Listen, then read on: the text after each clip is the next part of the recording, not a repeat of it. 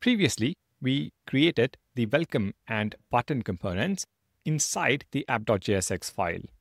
This works fine, but as your app grows, you will have dozens or even hundreds of components, and defining them all in one file will get messy real quick.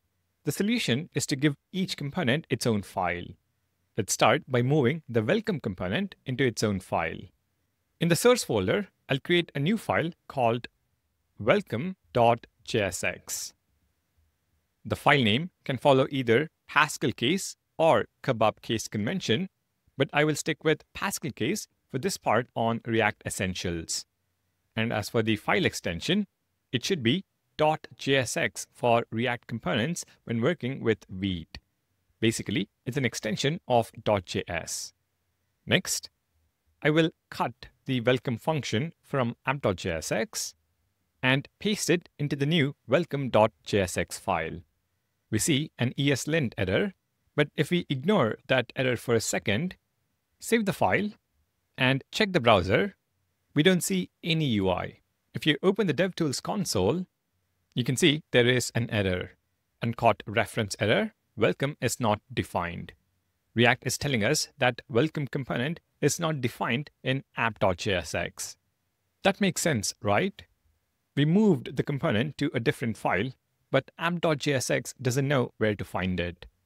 This is where JavaScript modules come in. We need to do two things.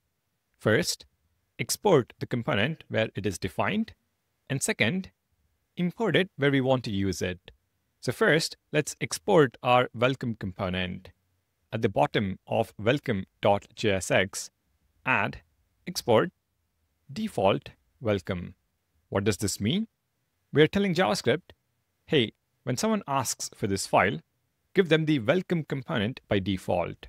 Now, back in app.jsx, we need to import it. At the top of the file, add import welcome from quotes dot slash welcome. Let's break this down. Import is the keyword that tells JavaScript we want to use something from another file. Welcome is what we want to call it in this file. From dot slash welcome tells JavaScript where to find it. The dot slash means look in the current folder, and we don't need to add the dot .jsx extension because React figures that out. Save both the files, refresh the browser, our welcome component is back. But now it's properly organized in its own file. Let's do the same thing with our button component. So create a new file within the source folder called button.jsx. Cut the button component code from app.jsx and paste it in button.jsx. Export the component as default and in app.jsx, import it at the top. Import button from dot slash button. And we invoke it within the app component. Save the file, refresh the browser, and you will see the same result as before. Now there is another way to write components that you will see everywhere in React code, and that is using arrow functions. Let me rewrite our welcome component. const welcome is equal to an arrow function. Similarly, we can rewrite the button component as well. const button is equal to parentheses, arrow syntax, then the function body. If you take a look at the browser, our app continues to work as expected. If you want to learn more about the arrow function, check out my JavaScript and advanced JavaScript crash course on the channel. Now here's another thing.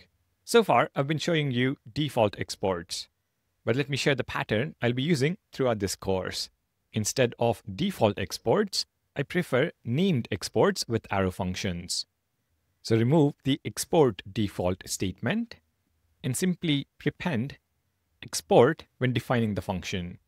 Export const welcome and then the arrow function.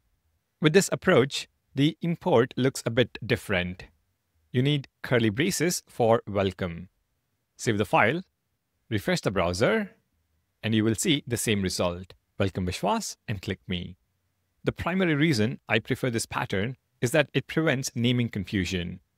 You see, with default exports, the component can be renamed arbitrarily at import time. So in app component, button can be imported as amazing component and invoked as amazing component. The app continues to work. But with named exports, which is the case for welcome component, we can't do that. We have to call it welcome. This leads to much easier debugging and maintenance. Now the key takeaway here is that organizing components into separate files makes your code more maintainable.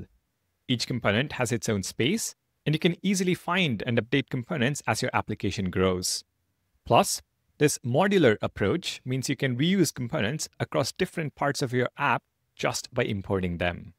All right, now that we know how to create and organize components, you might have noticed something interesting about the code we are returning from the app component.